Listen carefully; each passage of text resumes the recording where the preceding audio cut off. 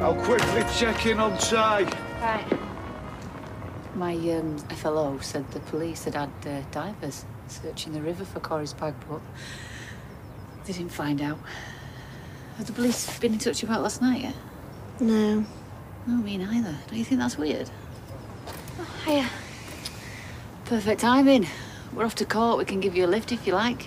Oh, I actually, I'm, I'm not going. Just can't deal with the thought of seeing Corey. It's not that I'm, I'm scared or anything. right. I understand. Have the police said anything? We haven't heard a peep. Maybe Corey didn't say anything for some reason. No. He definitely would have told him. He would have told him we pushed him.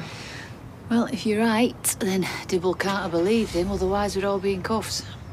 Look, we should, um, we should probably make a move. Uh, let me know how it goes. We'll do.